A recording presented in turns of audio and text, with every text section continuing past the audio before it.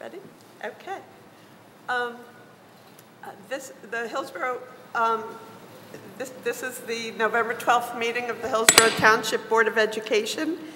In accordance with the State Sunshine Law of New Jersey, adequate notice of this meeting of the Hillsborough Township Board of Education was provided on November 8th to the Hillsborough Beacon and the Courier News. May I have a roll call, please? Sure, Ms. Bogocheski, Ms. Santafonte, Mr. Cooper, Mr. Gillette, Here. Ms. Harris. Here. Mr. Pulsifer, Here. Dr. Susan, Here. Ms. Trujillo, Here. and Ms. Haas. Here. We have a quorum. Thank you. I will now read the motion, uh, I will now read the motion to go into executive session. Whereas the Open Public Meetings Act, Chapter 231 of the laws of 1975, provide that a public body may exclude the public from that portion of a meeting of which the public body discusses certain matters for which confidentiality is required as permitted in Section 7B of the Act. Resolved by the Board of Education of the Township of Hillsborough and the County of Somerset and State of New Jersey as follows. One, the matters to be discussed are the evaluation of the superintendent and negotiations with the Hillsborough Education Association. The matters discussed in executive session shall be disclosed to the public when the need for confidentiality no longer exists. May I have a motion and second, please? So moved. Thank you. Second? Thank you. All in favor? Aye. Any opposed? We're in closed session. We'll be back at 7:30. We're back from closed session, so I'd like a roll call, please. Sure. Ms. Bogocheski, Ms. Santafonte, Mr. Cooper, Here. Mr. Gillette, Here. Ms. Harris. Here. Mr. Pulsifer, Here. Dr. Susan. Here. Ms. Trujillo. Here. And Ms. Haas. Here, We have a quorum. thank you. Um, Can everybody please rise for the Pledge of Allegiance? I pledge allegiance to the flag of the United States of America and to the republic for which it stands, one nation, under God, indivisible, with liberty and justice for all. Okay. Moving ahead to the approval of the minutes, we have two sets of minutes. The first being our executive minutes from um, October 29th. May I have a motion and second to approve the executive session minutes? So moved. Thank you. Second. Thank you. Any questions, comments? All in favor? Aye. Any opposed? Any abstentions? I abstain. Okay, Lorraine abstains. That rhymes. Okay. um, I'll take a motion and second to approve the regular, uh, regular public meeting minutes. So moved. Thank you. Second. Thank you. Any questions? Um, All in favor? Aye. Any opposed? Any abstentions? Lorraine again. Okay, we recognize the correspondence that we received, and we can move on to the superintendent's report. Thank you, Madam President. Good evening, everyone. It's great to see so many people out tonight. Every month, we try to spend a little bit of time spotlighting the great things that are going on throughout the district. And tonight, Spotlight is focused on ARIS and the Safety Patrol. So with that, please join with me in welcoming to our, our podium the principal of ARIS, Mr. Chris Carey. Thank you, Dr. Schiff. Uh, Just, we'll get get a moment, I'll ask all the Safety Patrol members here this evening, as well as our advisors, why don't you join me up at the podium, uh, off to my right?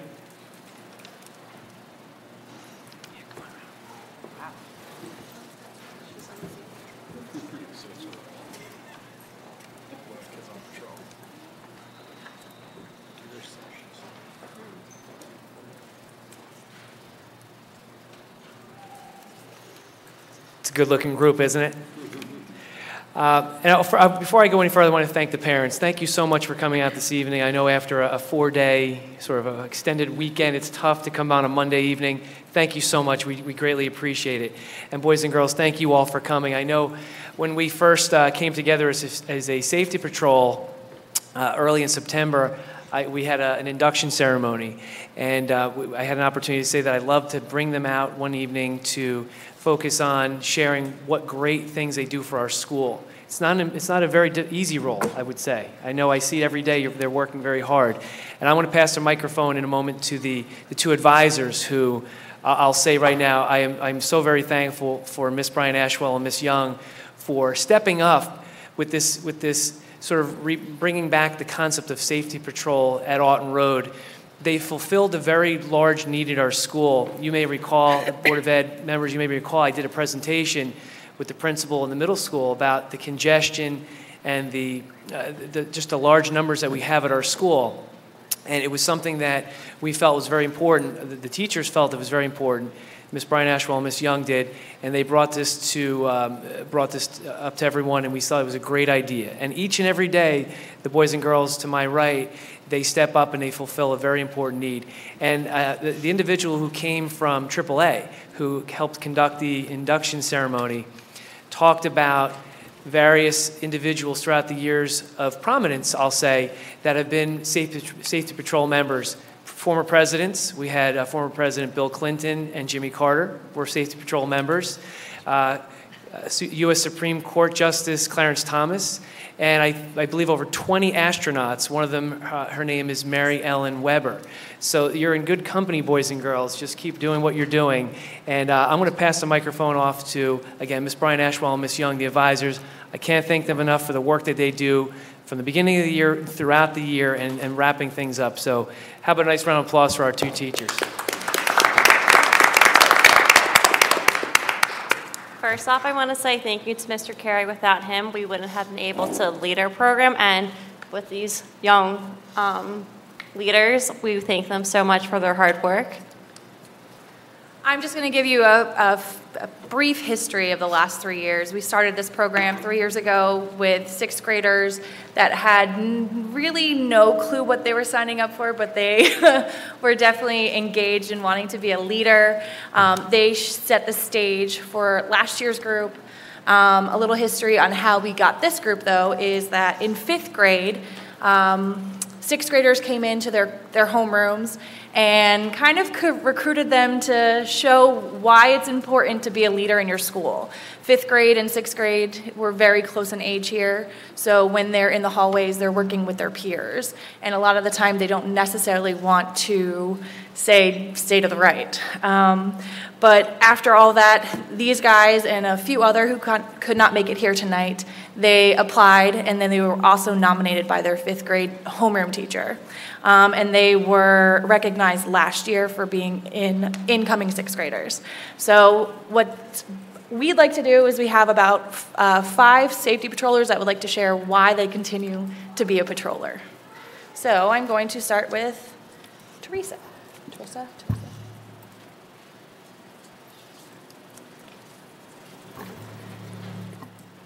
Hi, my name's Teresa Alex, and I'm a safety patrol. I became a safety patrol because I wanted to help my school. I wanted to have some type of purpose at my school. Safety patrol really benefits our school because, obviously, number one, it keeps the people and the peers of our school safe. But it also benefits the kids around us because it teaches them respect. It teaches them who they should be respecting, no matter if they're their peer or their classmate, they know that they should respect them. But it also benefits us safety patrols because it gives us a sense of confidence to tell people what they should and what they shouldn't be doing. It also teaches us responsibility because it makes us responsible for our actions. I really like being a safety patrol, and I hope this tradition goes on for a long time after we leave. Thank you. Next, we have Rithaja.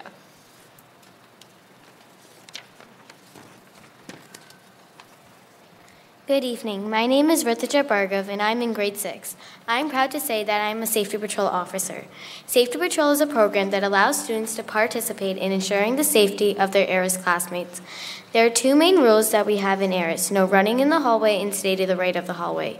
In the past, we've seen these rules fall apart at the end of the day, so a program was created to maintain these rules. Without Safety Patrol, there would be chaos and disorder at the end of the day. That is why this is why Safety Patrol is important and helps our school. At the end of the day, we stand in the middle of the hallways and guide students safely to their bus departure rooms. Why did I join Safety Patrol? I knew I wanted to help create a safer environment, and when I heard about Safety Patrol, I knew it was a perfect program for me. Thank you, Ms. Brian Ashwell and Ms. Young, for creating this program and allowing me to make an impact in our marvelous school. Thank you for your time.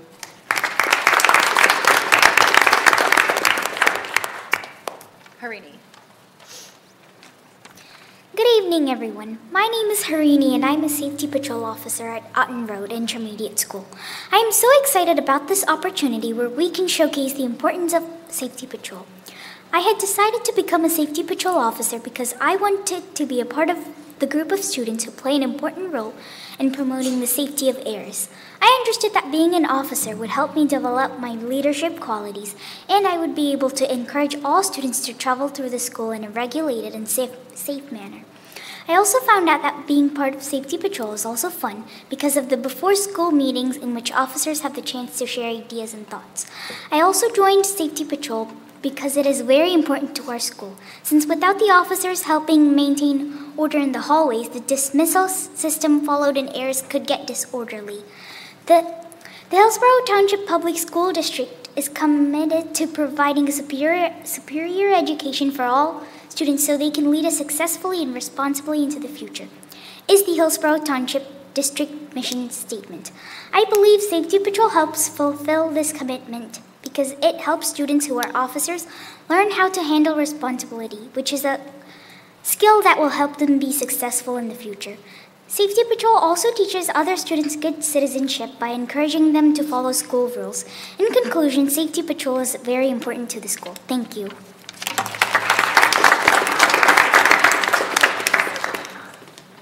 Next up, we have Lexa. Lexi? Um, I'm Alexa Gibson. I'm a student at. I'm also a student at Auten Road, and I decided to. I decided to sign that form to become a safety patrol because I thought that would help build my personal confidence. So I used to have trouble believing in myself with sports and things like that, and it really did help. Now I always go for the goal in lacrosse, except without handing it to someone else, and I'm not afraid to make sure that students are doing the right things in the hallway. And I think this program is very important to ARIS. Without officers positioned in the hallways, the school would be absolute chaos after dismissal. There would be students running in all different directions through the halls, which could cause some injuries. And it would also be really hard for those teachers trying to navigate through the hallways. It's absolute chaos. And I think it is important for both students and teachers to feel safe in the ARIS hallways after dismissal time. Thank you.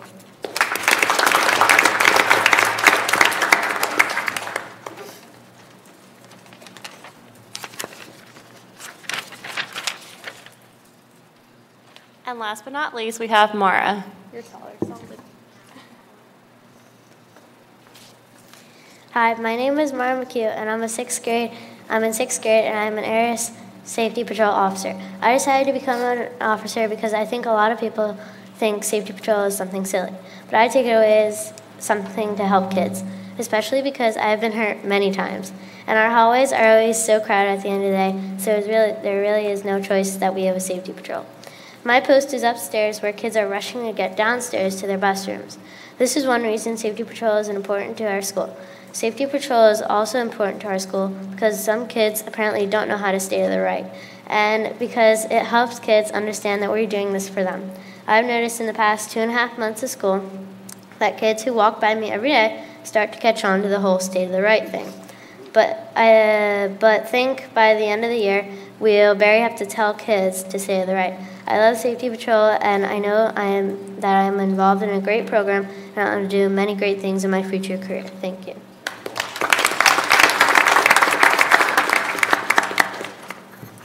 Why don't we give another big round of applause to all of our Safety Patrol. Thank you also to our advisors who've done a wonderful job leading our, our students, as well as Principal Carey for your fine work. I ask at this time that for the board to take a five-minute recess so that we can, we can thank the children and their families for coming out tonight. So ordered. We're in recess. Five minutes. Thank you. Thank you, Madam President. I have a few other things under the superintendent's report. First, under the continuing discussion on investing in our future, which is looking at referenda both in the spring and the fall of next year to help us build a new high school, have full-day kindergarten, as well as address fiscal issues and full-day kindergarten. What I'd like to do tonight is to show you how full-day kindergarten impacts our state aid. Behind me is the actual picture of our state aid notice. This is what we get. This is what all public school districts get from the Department of Education. This goes through how your state aid is calculated. It's a, an 11 page document. I'm not going to go through all of that tonight. What I'm going to try to do is to compare how this document would have been affected if we had full day K this year. And you can see what, um, what that impact would be. So I'm going to open up a document. Uh, actually, it's a spreadsheet that shows the half-day kindergarten uh, compared to the full-day kindergarten. First of all, I'll just walk you through the different stages of the half-day kindergarten program and how that is um, how that's calculated. First of all, you can see right here, this is our half-day kindergarten number, which is a little under 400. That's an estimate that we receive from the Department of Education, and then it's given a weight and that weight is 0.5 or half. So our projected weighted enrollment for kindergarten is always half of what our approximate enrollment is. And then from there, there are additional weights that are added for children who qualify for free and reduced lunch. They're um, identified in the state aid formula as at risk students. Also, LEP, which stands for Limited English Proficiency as well as both when it's combined limited English proficient and um, at risk or low economic, um, lower economic uh, uh, SES. And then each is given a weight. So if you're a student who qualifies for free and reduced lunch, the weight here is 0.47. LEP only, the weight is 0.5, and if it's combined, LEP and low income, it's 0.595. And all of that is calculated out. Then you get a projected weighted enrollment of, in our case, this particular budget year, it was 7,884 students. And that's the weighted enrollment that the entire state aid formula is built upon. And then they start to calculate it. And right here, 11,209 is the dollar figure that the State Department of Education um, is the multiplier by how many students you have. So it costs a lot more, frankly, than $11,209 to educate a child in, in New Jersey public schools. But that's the base cost um, per pupil expenditure. It's also, we get a little bit more than that because we live in a part of the state that's a little bit more expensive. So we get what's called a geographic cost adjustment.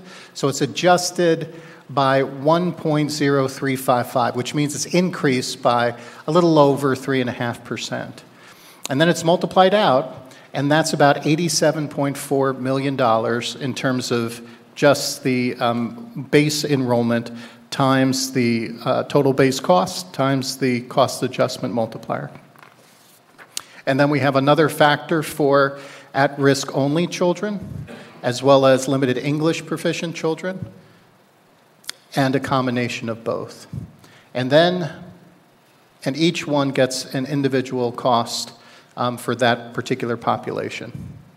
And on top of that, we receive additional aid for children who have special needs or qualify for special education services. And the way that the State Department of Education uh, tells us how much aid we're going to get is it multiplies our enrollment times 14.92%. And that's the average rate of classification in the state of New Jersey. Now, if you classify more than 14.92% of the children, or you have more than 14.9% of the children that qualify for special education services, you lose. If you have less than 14.92%, you win. Hillsborough has close to 16% of our children qualifying for special education. Now, the cost per pupil is higher for a special needs child. Here it's $17,343. It actually costs a lot more than that to educate a special needs child in the state of New Jersey. You also get the cost adjustment, the geographic cost adjustment, and then they take two thirds of that. And that comes to about $12.7 million. You also get a little bit more aid for children who receive speech only services. And then you add up all of these totals here. Every total that you see, that is a cost. for the 12 million, the other 80 plus million, and you get what's called the adequacy budget. And this is what the state defines as at least the minimum expenditure that a district should be putting out to, um, to fund a thorough and efficient education in the state of New Jersey. Our adequacy budget with a half-day kindergarten program is 104 million. Then there's a local fair share, which the state identifies as what, how much should the taxation be in a community based upon its wealth, which is defined by a combination of income and property value, and the state calculates what's called the local fair share.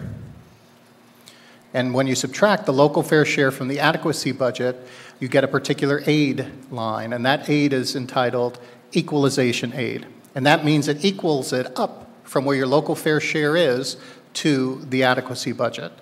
So with a half-day kindergarten program, our equalization aid is about nine and a half, $9.6 million or so. And then there are other aid categories.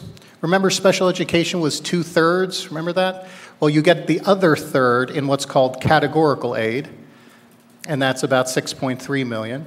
And then we get some money for security aid. It's about $636,000. And then transportation aid rounds out the categorical aid. When you add the equalization aid, which is defined as formulaic aid, plus the categorical aids, it's 19.3 million. And that's what the state says that the SFRA, the school funding formula, um, that's how much state aid Hillsborough Township should receive. Now, in calculating how much aid we do receive, we take what we got the prior year, which was about $25 million. We subtract that from the total categorical and formulaic aid, and we get what's called adjustment aid. And that was the aid that we have been receiving for, for many years here that helps us make sure that we don't get less state aid from one year to the next. And in order to bring us up to what our prior year's aid was, we receive adjustment aid. And the adjustment aid is the difference between how much aid we quote unquote should receive versus how much we did receive. And this adjustment aid is what the state of New Jersey wants to remove from Hillsborough Township Public Schools. So that's $5.6 million. And the aid is going to be reduced, that adjustment aid is going to be reduced to $0 from 5.6 million within a seven year period of time. So that's what it looks like with a half day kindergarten program. But when we have a full day kindergarten program, state aid is then adjusted. And I'll show you what that looks like. So if you recall, I'm going to just shrink this just a little bit so you can see it.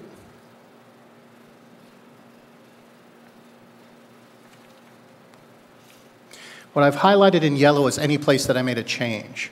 So here you can see in the half-day kindergarten enrollment number, that's been zeroed out. And I added the about 400 kids into the elementary full-day K and 1 through 5 line. And now our projected weighted enrollment went from 7,534 to 7,787 but it also affects the amount of children who are at risk only, LEP only, or LEP and low income combined. And those numbers were adjusted, those are in yellow. And then the projected weighted enrollment, which the entire formulaic aid package is, is uh, calculated against, goes from 7,884 to 8,153. So when we start going through the calculations that we did before Each of these calculations highlighted in yellow is actually adjusted up, including special education, speech only, and the categorical aid of special education. So let's see what the equalization aid looks like. Remember, we calculated an adequacy budget, and the adequacy budget went from 104.3 million to 107.8 million. Local fair share remained the same. I didn't change that in the calculation. But the equalization aid went from 9.6 approximately million to 13 million. The effect of all of this was that our total categorical and formulaic aid went from 19.3 million to 23 million. So when we look at how do we calculate the adjustment aid, remember this is the aid that the state is going to take away. Instead of $5.6 million of aid that would be removed, it's now 1.978 million. The difference here is 3.663. It's over almost $3.7 million difference. So our question and our challenge as a board is to try to develop a kindergarten program that's actually less than that. And if it's less than that, then that means that the program eventually will be paying for itself. Now, it's a couple of caveats. One is that the local fair share changes every single year. And the aid calculations change every single year. What this is is an academic exercise that would show if we did full day K this year, our adjustment aid, or the aid that would be removed, would be reduced by $3.6 million. So at this point, I'd like to open it up for questions from, from either the board or anyone else. Yes, Mr. Gillette. Uh, Thank you, Dr. Schiff. Thank you for the presentation. Sure. And going through this state aid um, uh, sheet that they, what do they call it again? The state aid? Calculation. Calculation worksheet, whatever. Uh, So l- let me ask you this question. Does the state differentiate um, kindergarten students from other students in calculating state aid? In other words, you added 200 students, um, but are they just 200 students? Yes, the, actually, I'll- and I'll show you on the actual state aid notice, so you can see it here. Right here, right in this area, you can see that there's an area for half-day kindergarten. Right. And we have numbers in here because we have a half-day Right. kindergarten. But here, it's elementary slash full-day K and grades one through five. So they count full-day kindergarten kids as they would any kid in grade, first grade through, through fifth grade. And they count half-day kindergarten as half of a student. and Half that's- of a student. That's why it's important to, to note that when you're, when you're filling out your form to get the state aid. Exactly. And- and the- So, but, but here's the thing. So you're talking about adding 200 equivalent full-time students by, I, I, approximately, right, with this state. But look, maybe building 200 houses in Hillsborough would add 200 full-time students, and we'd get the state aid or a reductions, or the calculation would be the same, because it'd be 200 students. But not only would you get that aid or have less aid taken away, or however you want to say it, you'd also get like over a million dollars in property tax to the school district. So there's nothing special about adding full-time kindergarten students. In fact, it's, it would be more profitable to have 200 houses be built, if you want to go down that game, right? We don't control that, though. No, but people don't want 200 houses being built because they think it will, uh, it will hurt the school district and be tough to pay for. But it would be less difficult to pay for 200 houses being built than it would be to pay for full-time kindergarten.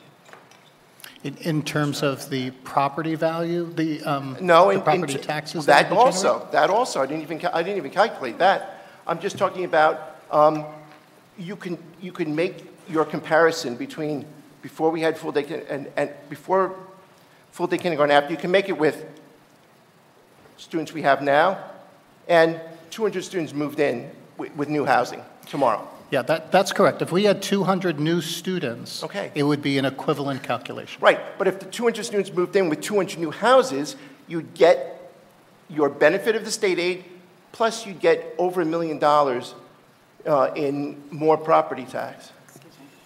Or, or everybody else is reduced by a million, or however you want to say it. I mean, so if people don't want 200 houses being built here because they, they don't want to pay for that, they're certainly not going to want uh, 200 equivalent students uh, coming in without, in the same houses that already exist. I think that's going to be a tough sell. That's all. Okay, Lorraine? I just want to point out, of course, Greg is right, that if we had 200 students coming from wherever, that we would get the same difference in state aid. But I do want to point out that it's not necessarily true about property taxes, because there have been developments where um, pilots or have happened where we got zero property taxes That's to the true, too. school. And that has happened not only with new students coming into the school, living in properties, but businesses we are not in control of that. So as Judy rightly pointed out, we are not in control of that. We are in control of this. There are 200 probably kindergartners going elsewhere in our district uh, to all-day kindergarten potentially, who could benefit from this program, and the school could probably have a zero-sum game in terms of being able to provide that service as well as the educational benefits of having those kids in our schools identified earlier if they have any needs, and then um, uh, gain, gain those um, resources from the state. But I think this is something, again, the taxpayers have to decide of what, of what the value of, of full-day K is. What, what I think Dr. Schiff is po- trying to point out is that this could pay for itself with respect to um, state aid. Uh, But it, it does require additional resources from, the- on the part of the taxpayer initially to get this booted off the ground. Yeah. Brett? I just want to point out uh, to Mr. Gillette, if we put 200 new homes, Yeah. we have 200 new kids we have to ha- educate throughout the whole system. If we make it full-day kindergarten, we have the same amount of kids, they just count differently. Okay. So we're not adding 200 kids to our school district. We're adding it on a piece of paper to the town, to the government. So we, we don't have the space crunch that we would have having 200 new families in every grade moving up from top to bottom. And also, as you point out, if we have 200 new families in this town, chances are they're not all starting at kindergarten. They'd be spread Oh, I- I out agree throughout with that. the district. Yeah, that mitigates your point, but I agree. Chris? As with most of the issues that come to this board, there are way too many variables in it, and it's very complex to look at the budget numbers and everything else. I, I think we have to look at this um, a- as the, the complete package. To me, um, there's some potential financial value, I guess, in, it's hard to measure, not getting cut as much. It's not like we get more revenue, it's just we're not getting cut as much. Um, But I, I think you also have to look at what is the program we're, we're putting on the table, and what does it mean for the district from, a- from an educational perspective. The standards that the state holds us to are based on a full year, uh, full-day kindergarten. And it's, and regardless of what you feel about how our state evaluates us, funding, and evaluates how well we're doing, whatever, it sort of doesn't matter whether we agree with them or not, they make the rules. And if the rules they made are based on full-day kindergarten, it seems to me we should give serious thought to doing that. Personally, I also believe that full-day kindergarten would be a very valuable program for the, for the kids. And while every time I look at these numbers, my head spins, it does seem like there's a financial benefit to this.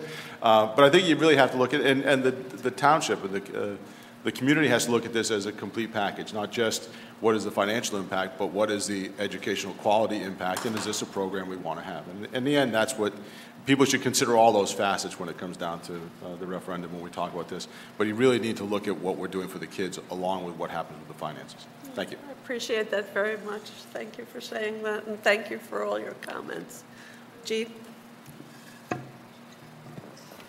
So I wanted to address the point of the $3 million, was it 3 million that we quoted for putting in full-day kindergarten and how that would offset or allow us to reduce, we would lose state aid more slowly? I just wanted to point out that that actually, it's true, except for the fact that we, we would have to borrow, not borrow, we would have to raise a levy up front $3 million so that we would not lose 3 million on the tail end. So they're two different um, I guess, buckets of money is what I would say. So if we were to do that, our tax levy would be raised by 3 million in perpetuity. And I also wanted to point out that um, I believe kindergarten is not mandatory in the state of New Jersey. So although the um, state standards are based on full-day kindergarten, um, I, I guess it doesn't make sense to me. Kindergarten is not mandatory that they would do such a thing. Also, so that was part one that I wanted to mention about the $3 million in the, um, to, to implement full-day kindergarten that would be potentially offset with loss in state aid. Then I wanted to kind of go into the state aid numbers and just really briefly, because um, I have the enrollment numbers I, the, uh, for the district over the last, whatever, 10 years, 15 years. Comparing them to the state aid notice, I feel like there may be an error in the state aid notice because if you go back to 2006, which is the earliest that I have, the, the state aid numbers list an enrollment that's very close to the number on the spreadsheet. And I believe we had half-day kindergarten then. Is that true? Like, when, when did we implement half-day kindergarten? Has it always been in the district? Okay. So if you go back to the state aid notice from 2012 to 2013, they, they do prior year resident enrollment non-weighted. And so October 2006, they talk about a 7,562 enrollment number. And on our district enrollment summary, I was just looking at 2006 to 2007 school year. It's pretty close. It's like 14, like about 15 kids difference. Um, basically, they counted 15 kids less than we actually had. So pretty much it's consistent up until around 2015 when they undercounted us. So we had 7,300 kids, 7,319, and they counted us at 7,200. So we were down by 140. So I feel like, is it accurate to say that they would, like if, if their numbers don't match our enrollment numbers, is it accurate to say that if we went to full day kindergarten, they would actually count it correctly? Does that, is my question clear? Yeah, let me, let me just explain how that process works. There is a report that we send down to Trenton uh, around the late November, early December timeframe called the ASSA, and that is the application for school state aid. And that is the num that is the accounting of all of the enrollment figures. So we go through a process to verify all of those numbers before they're sent up to, um, to the state of New Jersey. And, and they do it in a point in time, and that point is the October 15th enrollment. So the enrollment on that particular day during the school year controls what that aid is. Now, some of the things that you're referring to, uh, Mr. Trujillo, are actually the enrollment estimates that are estimated as part of the state aid notice. So the state aid does what's called a projected October 15th enrollment annually. So if you look on this page, right up on the big screen here, you can see that it gives, this is the projected 1819 state aid report. And what they do is they take the prior year residential and they do it for six years. And then they calculate a growth rate through all of this arithmetic that's, that's in this next section. And then they come up with the resident enrollment and the projected 10 2018 enrollment, but they don't know what that is because this is aid for the year that hasn't begun yet. So they have to estimate what that is. So the estimation is not necessarily the going to be what you see in terms of the October 15th enrollment on that date, on that sheet. Well, so my, I guess my question is, do they go back when they look at October 2017 and go back to what it actually was on There- October 15th? There's no adjustment. There's no adjustment. So they're wrong in, in certain, for example, like we just got the enrollment numbers for October of 2018, and it lists 2017 as 7361, and they're listing 7274. So. Well, they also don't count preschool. We don't get aid Oh, for so any of the don't- okay, preschool so that's- students. okay. So we We should- include our preschool students. Got it, okay. Yep. Yeah. Okay, so that may actually be some of the numbers, but then it would actually drop, it would drop the numbers that, so basically, they may be overcounting us. They may be giving us more they may be assuming more students, because what I had seen is the numbers were pretty close comparable for the last few years. Um, Yeah. I'm, I'm just, just questioning about how they got their numbers and whether we're confident that these numbers are accurate. Yeah, I'm, I'm actually more confident on the enrollment numbers than I am on the numbers on the local fair share. Okay. So when you look at the, the data that, that you have there under mm-hmm. local fair share from the 12-13 school year, mm-hmm. our local fair share increased by almost 30% in the community. And that was almost entirely driven by district income, not equalized property valuation. Now, I, when I go around the district and I tell people this, no one says I feel 30% wealthier over the past six, seven years. That's not the case. But what it's the case is that our, our income base in the community has grown. Um, and that is the difference between having adjustment aid and actually being underfunded in the year 12 13. So this district was underfunded by over $10 million six years ago. And yet now we're overfunded by 5.6. That type of volatility is a problem within the state aid funding formula because that makes taxation and decisions about programs very, very difficult to predict from one year to the next. And the reason that this hasn't come out and, and our legislature hasn't had its hair on fire about this yet is because the funding formula has not been funded in the past eight years. In fact, it was only funded one year. Now they're going to start funding the formula, and what we're going to start to see is the volatility within the state aid funding formula. And that should be a concern for all people that care about um, good school policy, because that's going to be a real problem, both on the good side and the bad side, too, that it can, that it can vary um, significantly and widely from one year to the next. Kind of makes planning a nightmare. Are there any more comments, questions about this? Okay. All right, thank you, Madam President. I do have a couple of other uh, things to share, some great news from across the district. Um, first of all, congratulations to the Pride of Hillsborough, the Marching Raiders, uh, received second place with a score of 96.2875 on October 28th at the state championships. The band missed receiving first place by less than three hundredths of a point. In addition to receiving second place um, overall, the Raider Marching Band received the Caption Award for Best Music and the Esprit de Corps Award, which is presented to the band with the highest music score out of, the, out of every competing band. Following this fantastic state championship, the Raider Marching Band went on to compete in the regional championships two weekends ago in Maryland, where the band took first place overall with a score of 98.2125. Congratulations to Raider Marching Band and band directors Jewel Heron and Nick Clipperton on a job well done. Thank you also to the Hillsborough High School Raider Band Parent Association for all you do for our band. Let's give them a round of applause. Schools throughout our district have been celebrating our veterans in honor of Veterans Day over the last two weeks. Our elementary schools had annual, held annual Veterans Day assemblies and breakfasts, and some of our older students from the high school and middle school participated via band and choral performances. Each school invited the brave men and women who have served our armed forces and have special ties to each of our schools and teachers and students who attended them.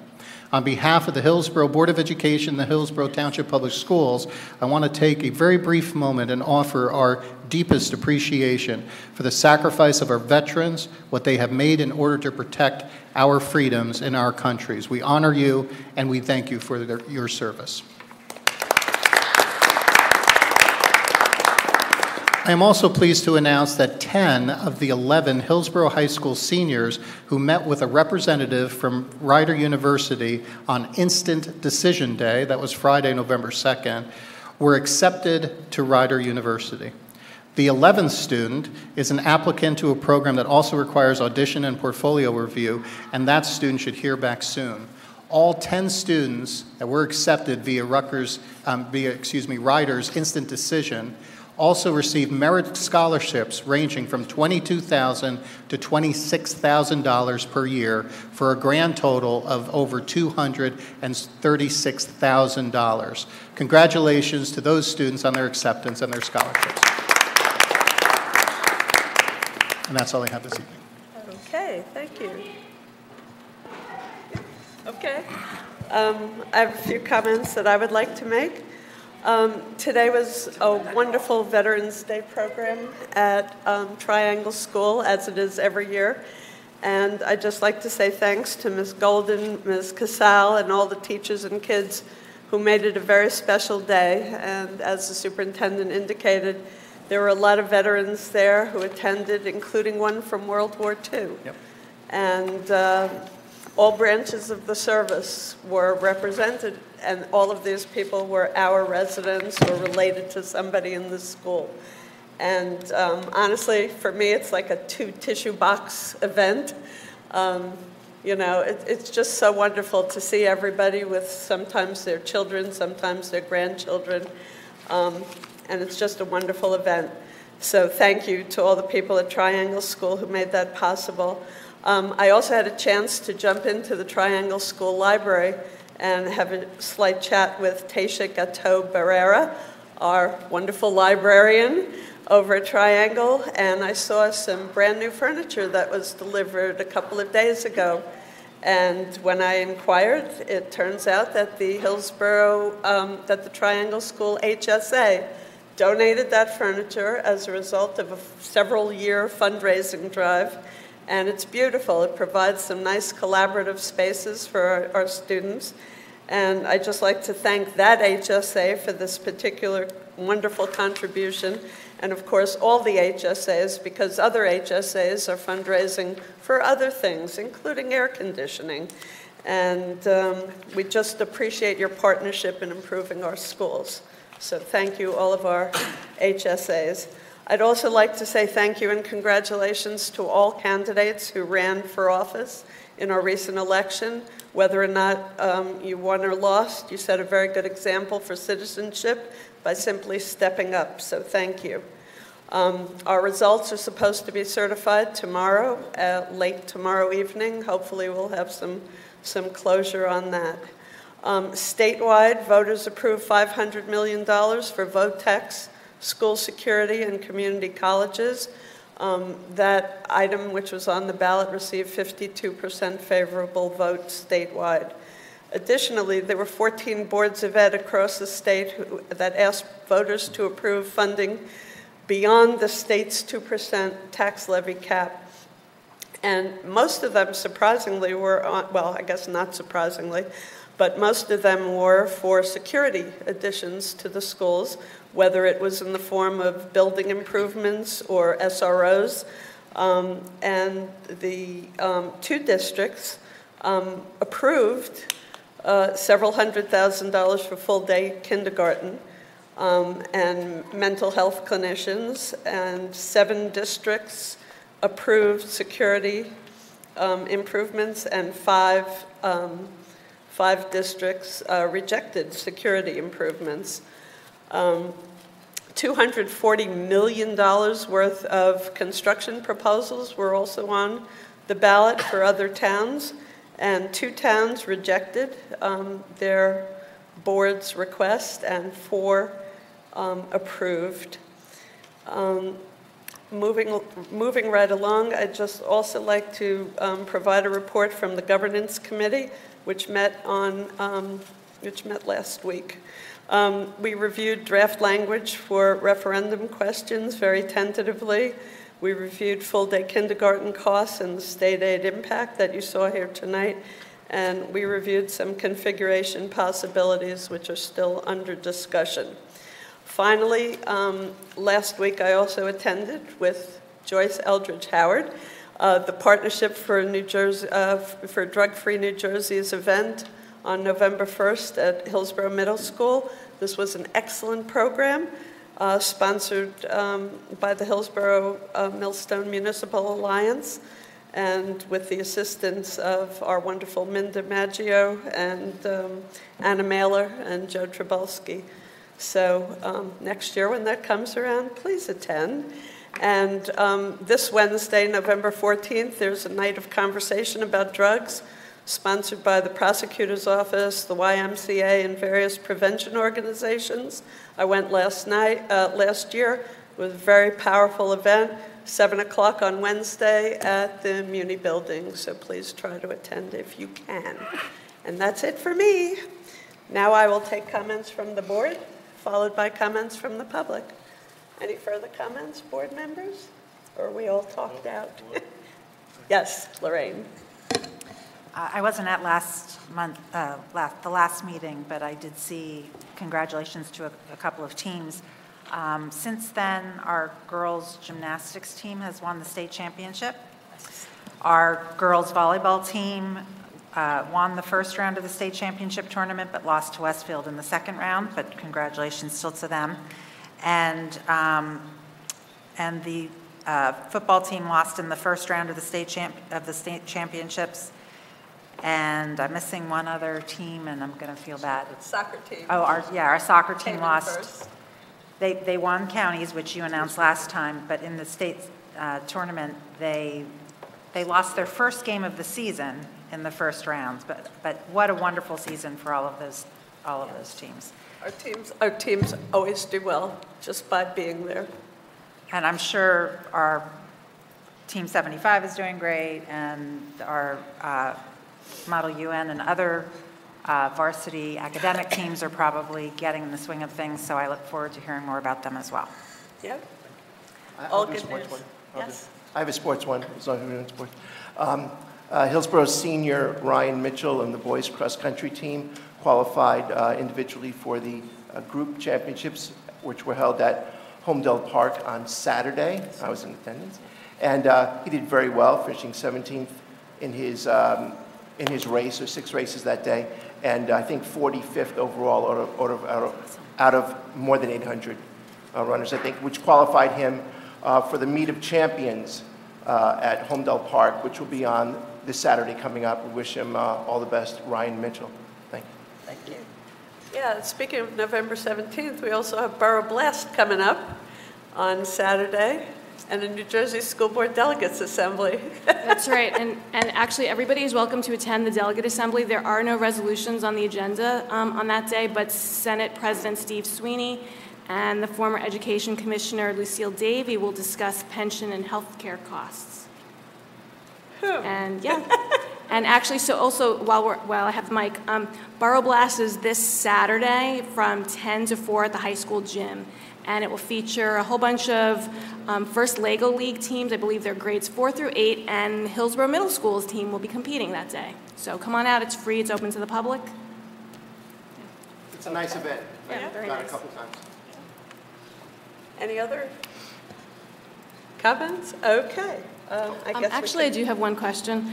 Um, So just going back to this um, full-day kindergarten and state aid, our resolution in March, um, what is the time frame for um, putting that resolution, the wording, and getting that approved? Is it, Yeah, the board, the board is required to um, have 60-day notice to the election board before we put out a question to the public.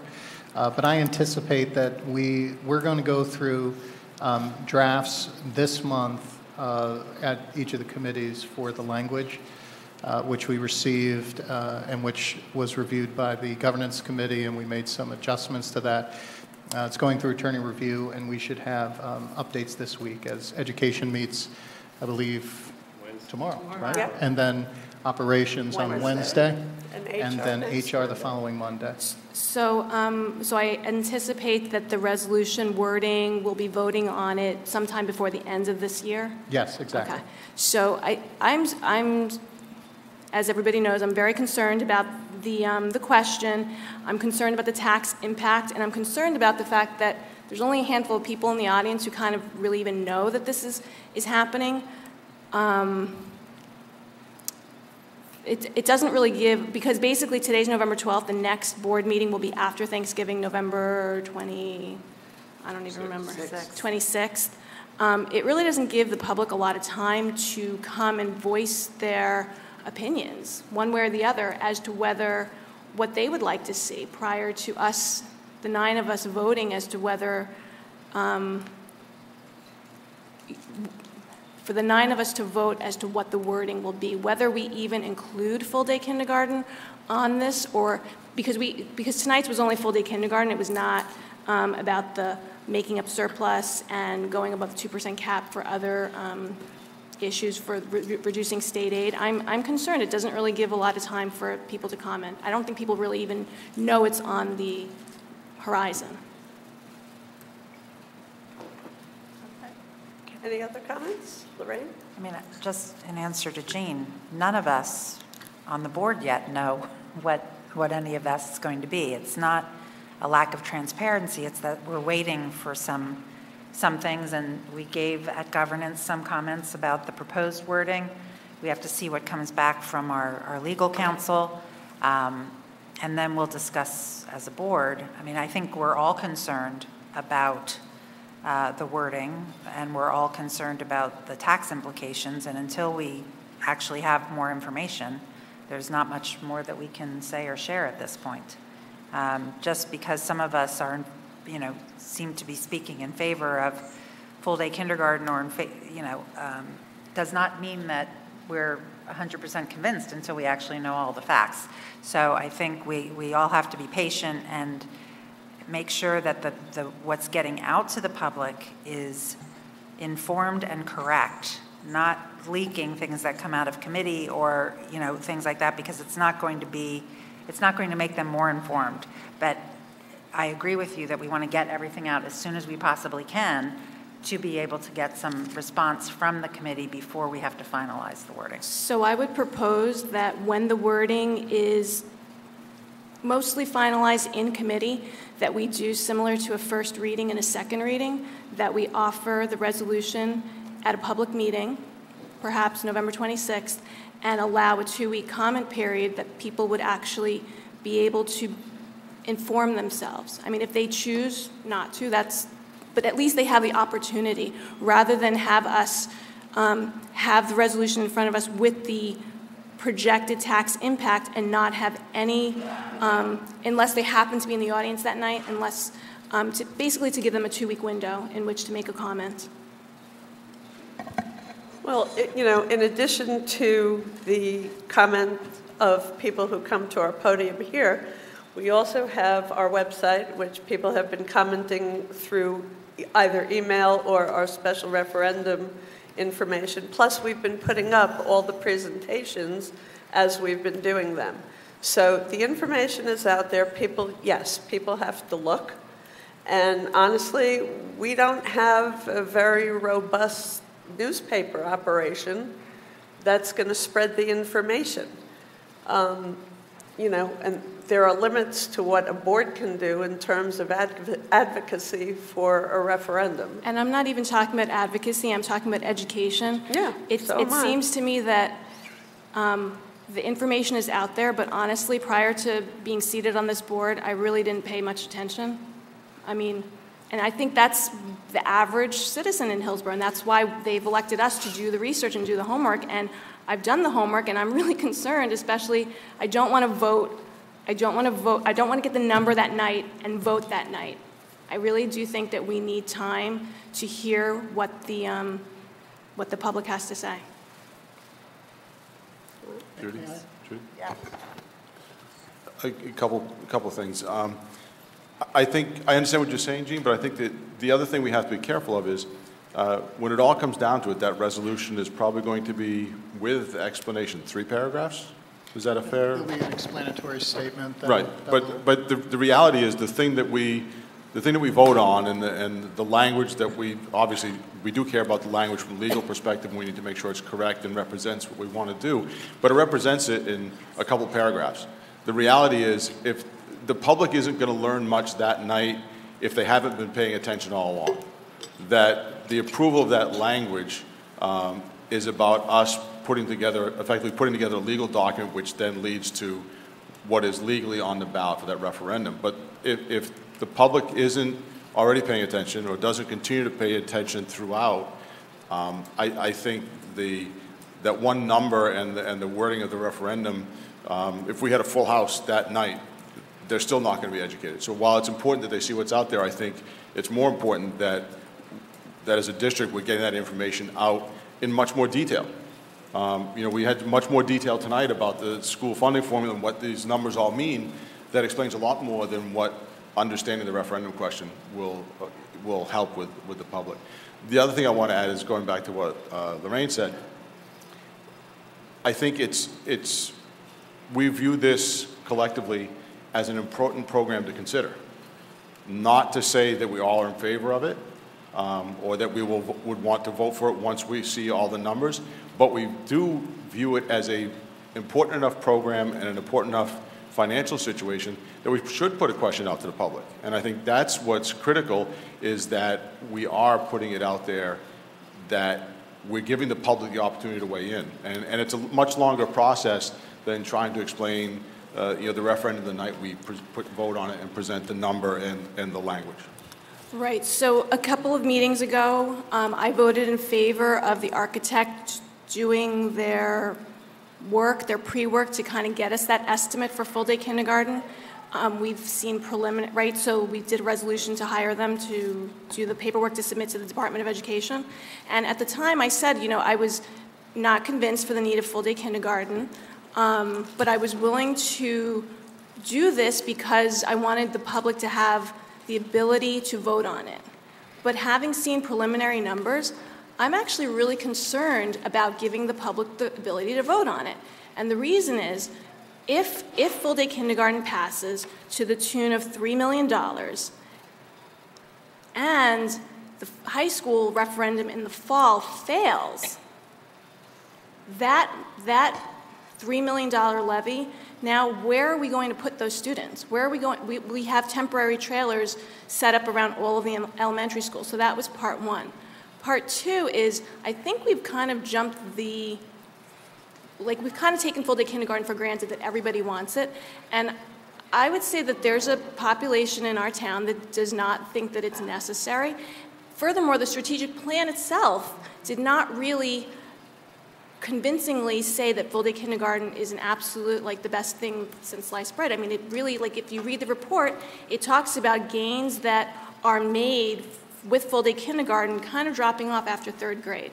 And then, you know, you read a different variety of reports, you know, third grade, eighth grade, et cetera. So I feel like we've kind of jumped the, you know, we've jumped a little bit ahead of ourselves to say, I mean, if full day kindergarten was like free, like free for the taxpayers, then yeah, sure. I mean, like, why not? But it's $3 million. It is not free. It's $3 million. Education, well, full day kindergarten, kindergarten, okay.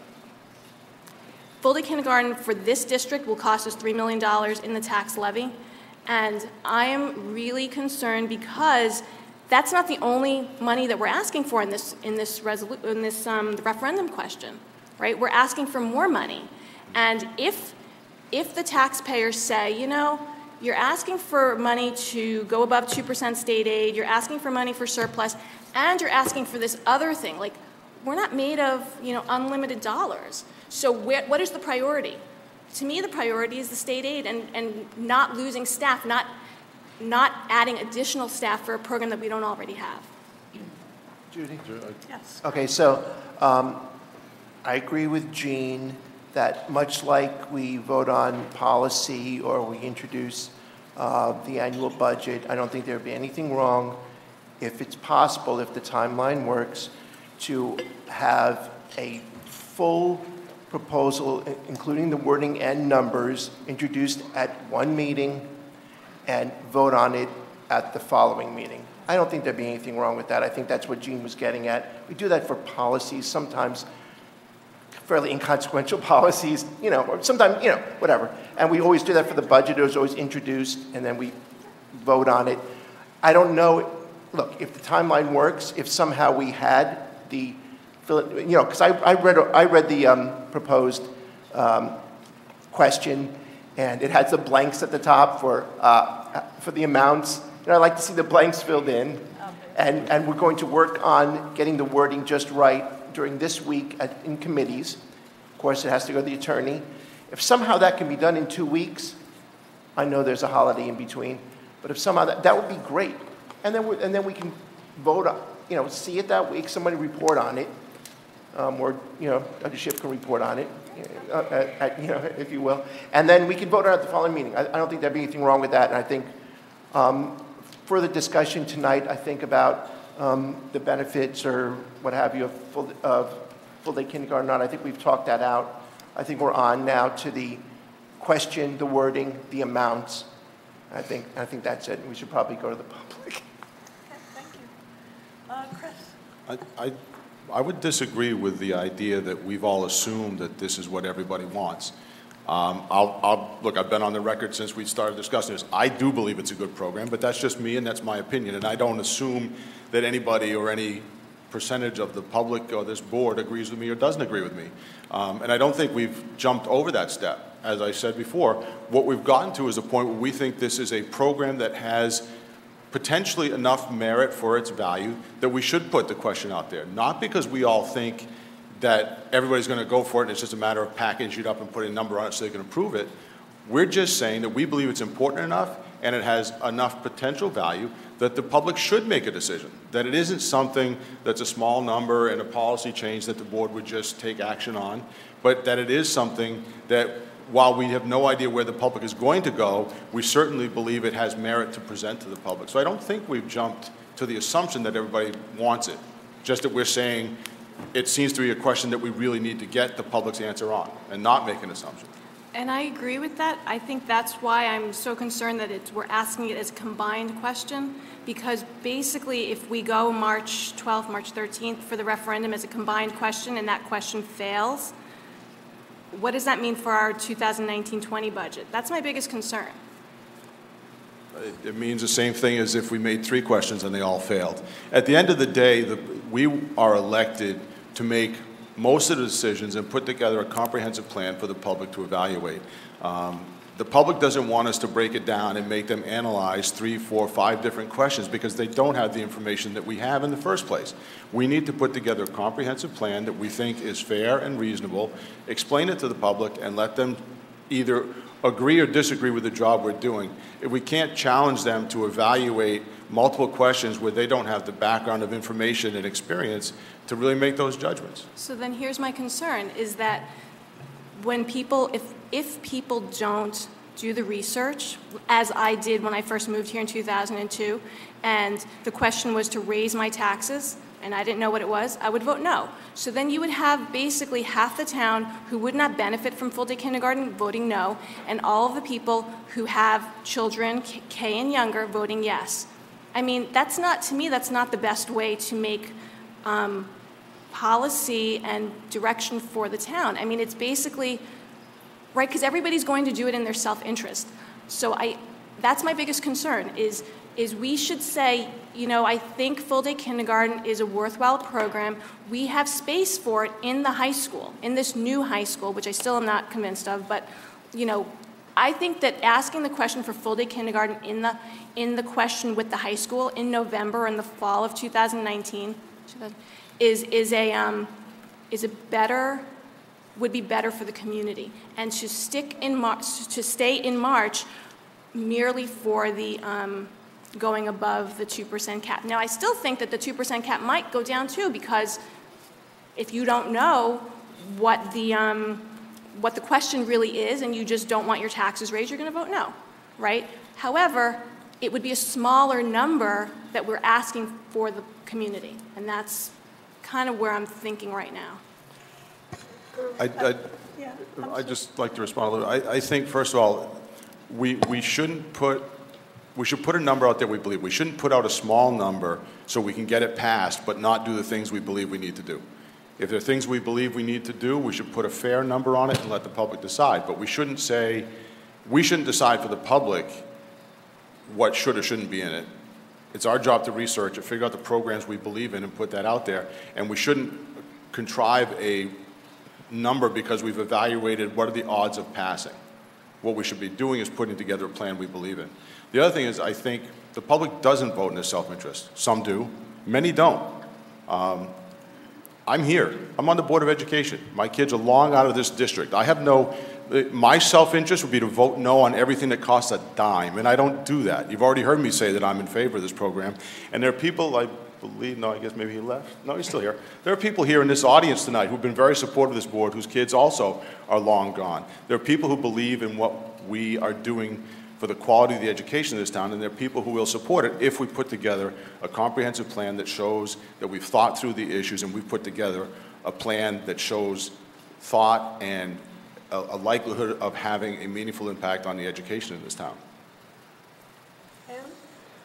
I would just like to put out there from the perspective of an educator that I've lived in this town for over 30 years. I've seen the diversity in this town change. I've seen a lot of uh, socioeconomic changes, although we'd like to think that we're very prosperous here. The affordable housing that has been built in town has created another socioeconomic impact on our community. I think that um, full day kindergarten, we are one of three districts in Somerset County. If I'm wrong, please correct me.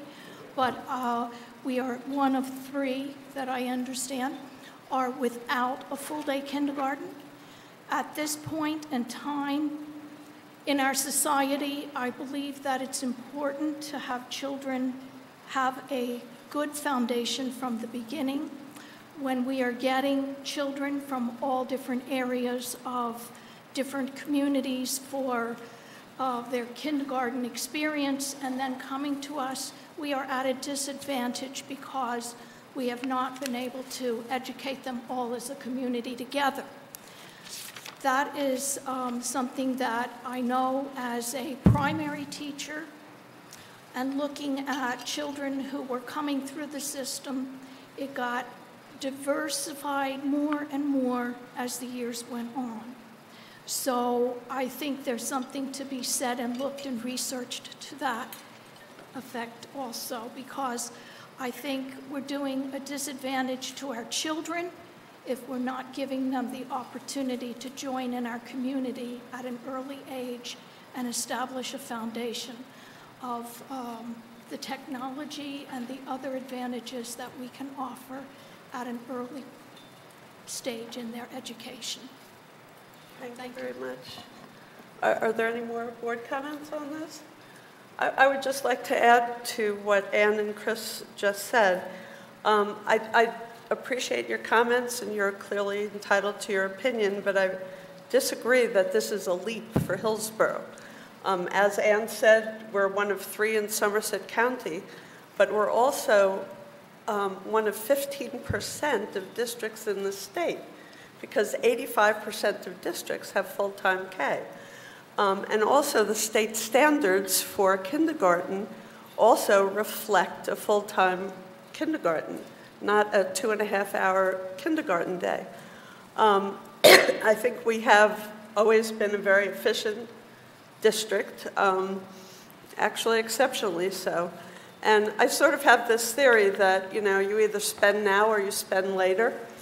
And I think kindergarten, a full day kindergarten, would provide us the opportunity to diagnose problems, get them early, get people, get children um, more able to read at an appropriate age so that they don't fall behind not only in reading, but in every other subject that requires reading, um, such as science and um, social studies and other subjects. And, you know, I, I really must look at this for educational value.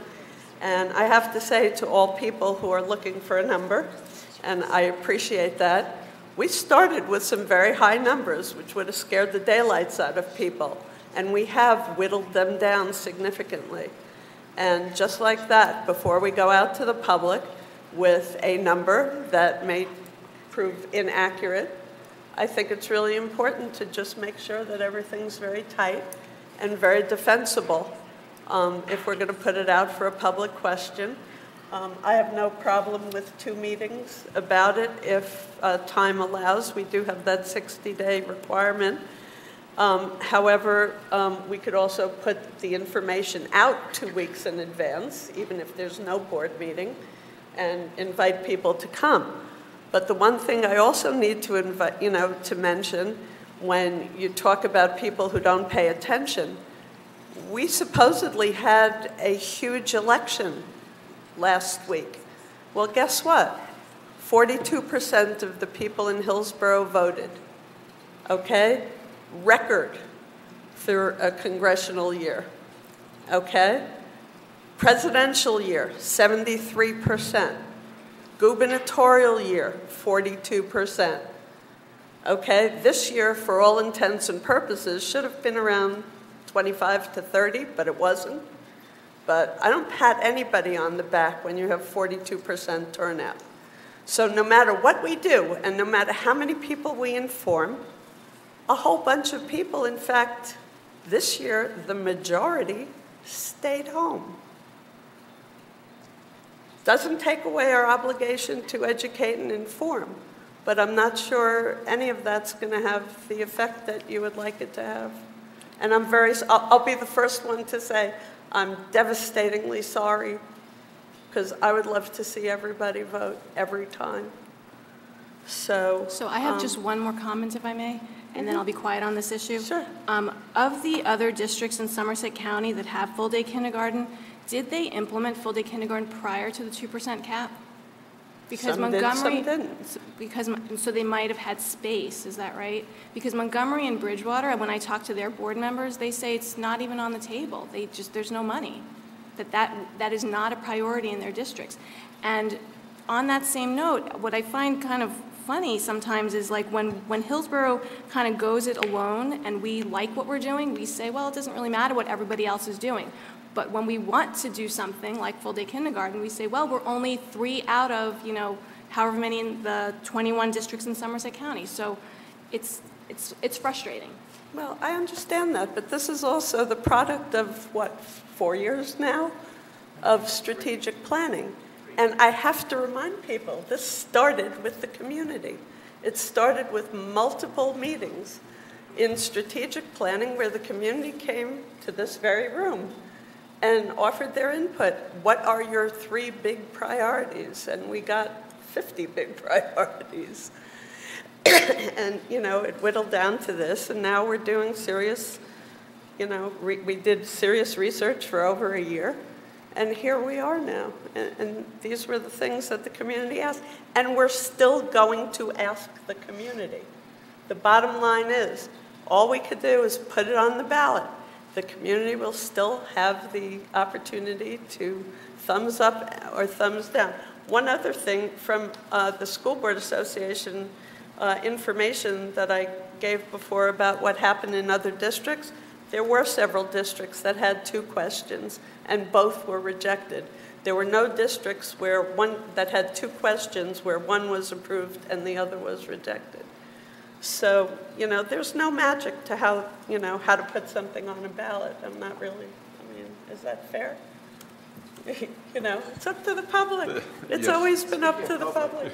What's that? Speaking of public. Yes, okay. Uh, Are we ready for public comment? Okay, public comment, patiently waiting. Good evening. My name is Bob Lisi, 37 Uncle Drive. Uh, I, I've put three children through school here in Hillsborough, from kindergarten all the way through high school, and all three children of mine have graduated college. Uh, What I, what I'm hearing here is nothing but talk about money here, dollars and cents, and not looking at what the educational process of having a full-day kindergarten. What's the average of a half-a-day kindergarten of what does a child absorb in that half a day? One hour? An hour and a half? What educational benefit is?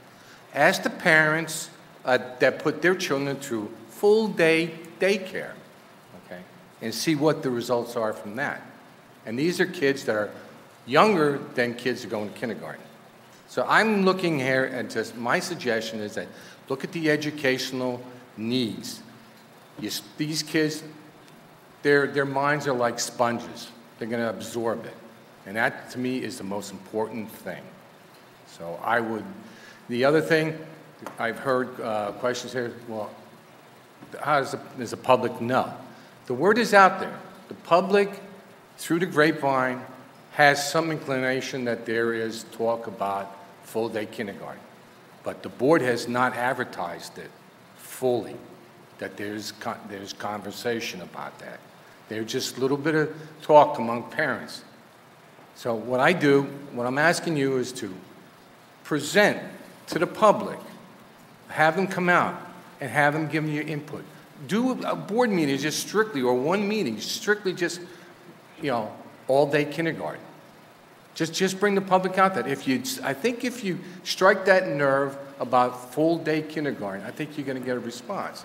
But yes, I agree that you people, nine people, are, uh, it's your responsibility to come up with the questions and, and do that and figure out the money and all that. But look at the public. Look for input from them. Seek them out. They want to be seeked out. Like I said, I mean, there's chat, chatter. They're all talking, but they don't hear anything from the, from, from the board saying, hey, we need you. So thank you for hearing me out. Thank you. Thank you very much. Good evening, uh, Thomas Zubelli, 9 Upper Neshannock Court. Um, I guess I wanted some points of clarification uh, as it refers to that referendum. Uh, I guess uh, I first want to thank Ms. Trujillo for her comments. I more or less agree with what she had to say this evening. Uh, but two questions I had. The, is the $3 million in reference to the 2% cap, or is that separate? Is that is the $3 million in reference to paying for the full-day kindergarten? Okay, uh, Mr. Gillette is shaking his head yes. Oh, sorry. So for the, witness, right? Fine. I guess, so if that's the case, is $3 million, is it a one-time $3 million? Or is it in perpetuity, which I did hear from Mr. Hirlo? It- What is, is it one-time 3 million, or are we talking several years of $3 million? You want to hit that? Sure. The question that the board's considering to put out is a question of a reoccurring expense. So teaching staff members reoccur one year after the other. It's not a one-time shot. It's to fund a reoccurring expense of full-day kindergarten. Okay, and then, and then, um, I know it was mentioned that there might be details about how much the 2% cap would be raised. Um, Again, I come to these meetings and I become more and more surprised and shocked, quite honestly. As I said the last meeting, I was astounded uh, because, from my understanding, I thought the reasoning behind raising the 2% cap was to help pay for the full day kindergarten. But now I'm hearing we're paying reoccurring $3 million a year for God knows how long, plus a 2% cap, plus a brand new high school. I, I, I, I mean, again, people are paying 12, you know, 8 to $20,000 in property taxes. I have people in my own neighborhood who are selling their homes because they're putting their kids through college. They can't afford the taxes anymore, and they're trying to, I, I, I don't understand. I, I'm like, my head is about to explode because I feel like what I understood it to be was we're raising the 2% cap because we want to pay for the full day kindergarten. So why are we raising the 2% cap if we're also asking for $3 million for several years down the road to pay for the full day? What is the reasoning behind the 2% cap and the three, like, I don't understand what's the, so why are we raising the 2% cap? Or asking the voters to raise it? Why? The 2% cap is on our current tax levy budget. The amount of money that will go to full-day kindergarten is an additional item in our budget. And, you know, things could adjust based on what the state aid formula is, as Dr. Schiff explained. And that's unfortunately, as he said, volatile. Some years it could be something, some years it could be plus, some years it could be minus. So may I ask? And that gets adjusted on an annual basis. Fair This enough. is November. Our budget process starts at this time of the year, actually a month ago, and that will be decided in March. May I ask what the 2%, if we, if, if it's approved by the voters, what will the two, what will the raise, the increase in the 2% cap be used for? I'm sorry. I feel like we, you know, it was put forth to us, we want full-day kindergarten and we want to raise the 2% cap. But now that I have a better understanding, I want to know why and what that money is going to be used for, for the 2% So, cap increase. Thomas, I'm going to answer, because I, I reported this maybe a couple of times during Operations Committee, but sometimes I speak fast. Um, So, so we're looking at a question for March. Yes. Okay? And uh, there's kind of, it's kind of like two issues, but they all, um, they, they're, they're they're combined in, into one question because they all have to do with raising the tax levy above the 2% cap. You've already heard tonight that will take approximately $3 million, and we don't have the exact number yet. Well, that will be announced when Fair we have the exact question. Approximately $3 million ongoing to implement full-day kindergarten in this district. But you also heard me report over the past several months that um, our expenses have far uh, exceeded uh, our budget appropriations during the last year. We went uh, over a million and a half dollars into our uh, surplus, not our, um, Our fund balance. our, our fund balance surplus. But, but, so in other words, not our extra surplus, but our required surplus, required by the state. That has to be made up. So uh, you can expect, uh, well, what I reported was that we're looking to increase the tax levy to make up for the amount that we had to go in, and that's ongoing. That's not, that wasn't a one-time thing. This is ongoing because of increased transportation costs, increased special education costs, uh, other things that are pretty much out of our control. And so that's part of it. The other thing is the potential loss of state aid, uh, equalization aid, which Dr. Schiff has reported on several times. And this isn't something that we that we're just only speculating on. The state has indicated how much uh, they're going to reduce the equalization aid each year for schools that they find have been overfunded, that they think were overfunded, so they're going to reduce their equalization aid by a certain percentage, I think 15% maybe for next year or something like that, or Close to it. close to it. So we don't know the exact number, but as hopefully in two weeks from tonight, maybe we will. So those are the two components. Okay. Um, so there's actually three components. $3 million we've already heard about for um, kindergarten.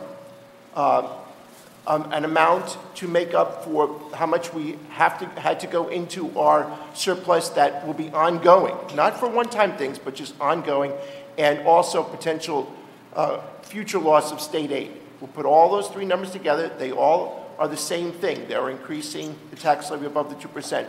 That will be the question. Okay. Okay, so when, we- when we, when we know the numbers, we'll tell you. If we start throwing around numbers that we don't know, that might get reported, that might get put all over the Facebooks and if things like that, and, and we won't be able to take it back. We'll know soon enough. Understood. Right? Thank you for the letting me, uh, clarification, and uh, thank you Superintendent Schiff for the presentation this evening. Thank you. Okay. Jane Stats, 101 Devonshire Court. Um, Thank you for all the information. Um, Some of it's over- overwhelming. But as far as the cost for a full-day kindergarten, um, about it being recouped, I'm paraphrasing, um, I guess in the overall cost, I guess we'll see a lot of that back. But to be honest with you, the taxpayer won't see that. And I think that's the impact a lot of people are concerned about. On the other hand, um, sort of related to what Ms. Harris said, um, you know, for, uh, the, the state is saying we should have full-day kindergarten, and that's what the standards are based on. So we have children who um, go to the half-day kindergarten here, and then they go to a, a wonderful daycare that provides and balances out, maybe provides, uh, you know, to provide a, the equivalent of a full-day kindergarten with their educational programs. But those are some of our students, and some of our students might have parents that can't afford that, so they have, um, uh, you know, maybe a relative or a friend who, who babysits them that can't, does not have the expertise uh, or the background to, to really provide that education to balance out and provide the equivalent combined with a half-day kindergarten here in Hillsborough, the Hillsborough schools, to provide a full-day kindergarten. So, um, out of concern for that, uh, um, and the fact that the state is, re, you know, has these standards based on full-day kindergarten, um, it would only be fair. Thank you. Thank you, Jane. Good evening. Good evening. My name is Joyce Eldridge Howard. I live at 75 Weber Avenue. I, I was a former kindergarten teacher for hmm, about eight years, and I had seen throughout the years the differences. Students come in to enter the schools, some have a lot of skills, that, some of them have their parents uh, have taken them to all kinds of cultural experiences. They've had that. There are some students who come in without anything. And then there are some students who come in with special needs. So when those students enter the kindergarten, they have that whole year. If they have to come in at the first grade with a half day kindergarten, that sets them back. I'm going to read you uh, uh, some, there's a lot of studies out about this. And I'm going to talk about here, read it to you, it's about is cost effective. Investments in quality early childhood programs generate returns of three to one or even higher, which translates to $3 saved for every dollar invested. An early investment in, child, in children uh, and their emotional and intellectual skills means grade retention and dropout for students uh, later in life. So students who come to school, that early, that foundation, you, it's so important. I can't even tell you how much it is. I, I know. I've been there. I just, I'm pro uh, full day kindergarten because that half day is a great loss for the students. Thank you very much. Is there any more public comment? Okay, we'll move to the action agenda. Thank you, Madam President. I ask for the board's consideration of the following motions that I'm making under the area of education to approve travel and related expenses, to affirm uh, the superintendent's uh, HIB determination list that's attached, to approve overnight field trip as listed, and to approve the two field trip destinations. Okay, may I have a motion for items um, 10-1 through 10-4? So moved. Thank you. Second. Thank you. Are there any questions or comments about any of the items in the um, action agenda? In the education agenda, sorry. Okay. Um, Roll call. Sure, Mr. Cooper? Uh, yes. Mr. Gillette? Yes. Ms. Harris? Yes. Mr. Pulsifer? Yes. Dr. Sasan? Yes. Mr. Hio? Yes. And Ms. Haas? Yes. Motion passes. Thank you, Madam President. I ask for the board's consideration of the following motions under the area of human resources that I'm recommending. First, to approve the resolution to create a um, new position, a personal nurse aide position. Also to approve the retirements as resign and resignations as listed, including the retirement of Lok Yin, who's a Triangle um, School custodian who has been with us since 2003, as well as Donna Ritter, special education teacher at Hillsborough Middle School, who has been with us since September 1, 1999. And we thank them for their service to our students and our school district.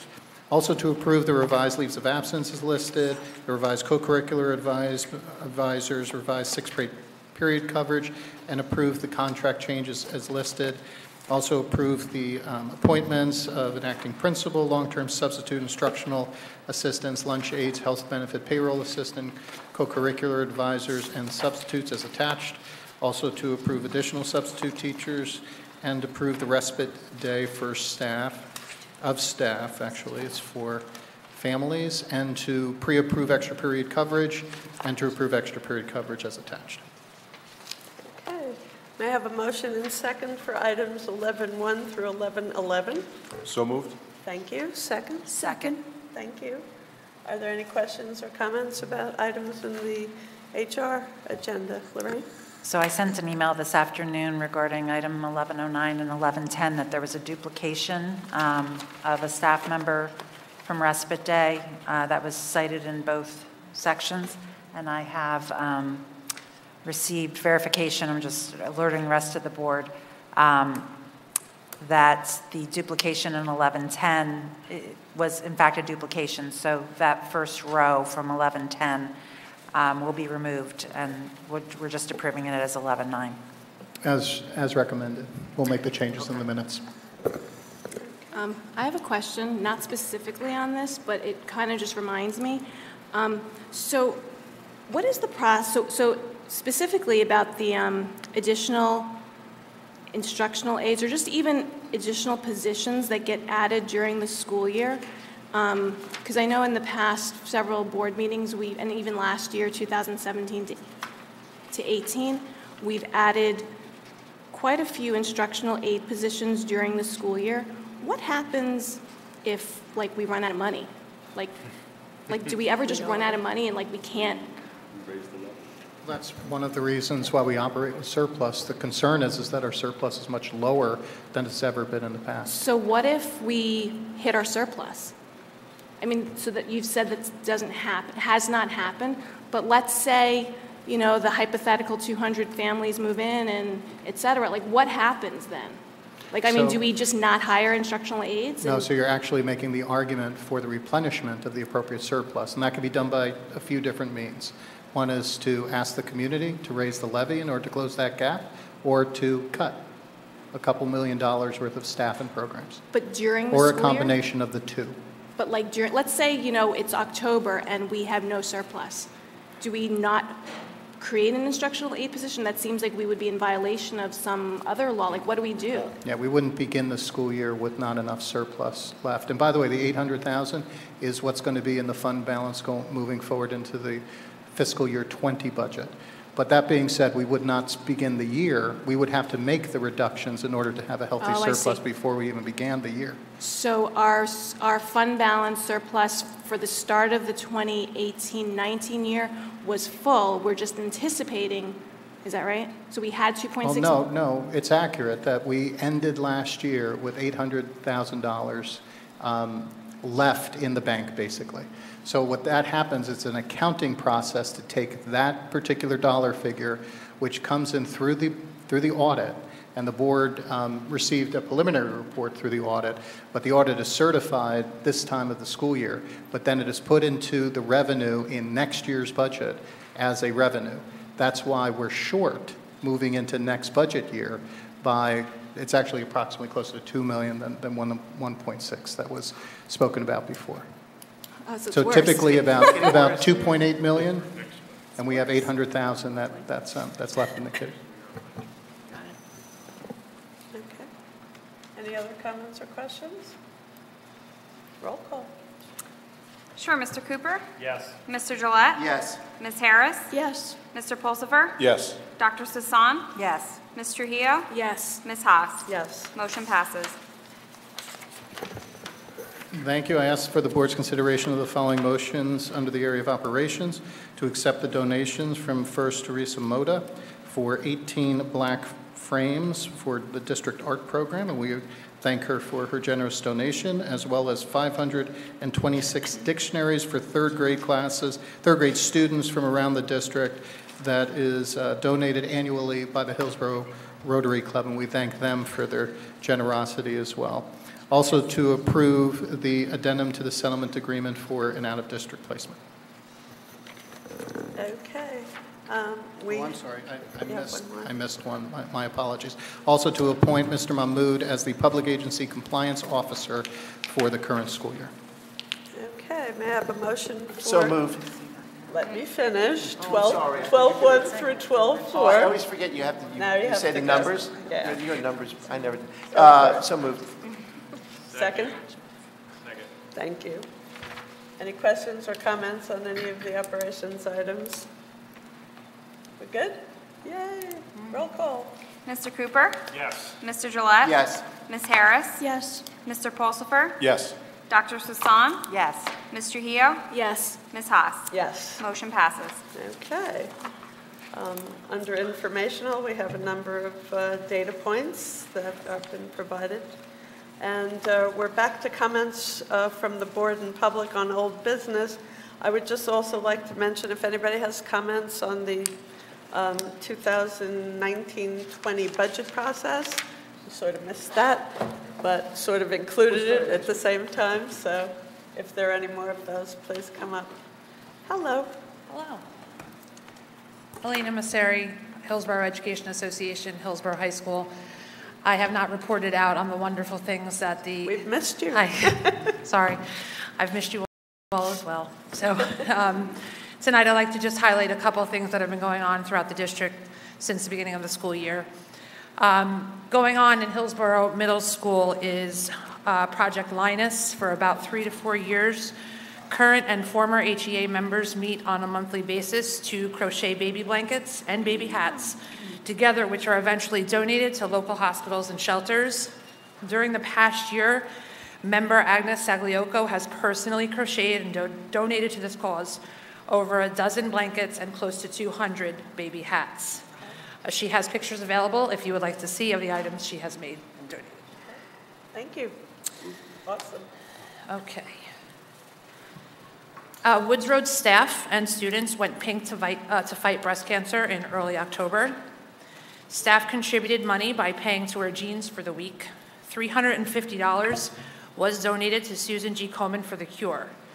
Maria Schob organizes this event every year and has an annual photo if you would like to see it. That same day, Aileen Barrios organizes a pink hair extension event for the whole school. Her sister Susie, co owner of Hair Plus, and her staff come in during the lunch periods. For a $12 fee, all money is donated. Students and staff get a pink hair extension. Over 150 hair extensions went out this year. This is another annual event when Woods Road goes pink. Also from Woods Road Elementary, Erica Katz has organized a group of teachers to participate in the Walk for Autism. She sold shirts to support this great cause, and staff wore their shirts to show their support for the walkers on Saturday, October 13th. Woods Road School embraces all of their students. Deb Mamawala and several staff members, both current and retired from Triangle, visited senior citizens at Foothill Acres for their Halloween celebration and entertained with music, games, and prizes. And most recently, 20 plus members of the Hillsborough Education Association teamed up with the Arc of Somerset County to beautify their group home um, over at, on Ardsley, over by Woods Road. We cut down, quote, shrubs, which were really trees, did some, did some landscaping, planting, provided snacks, not only for our members, but for the residents of the house. Thank you, and I'll see you next month. Thank you very much.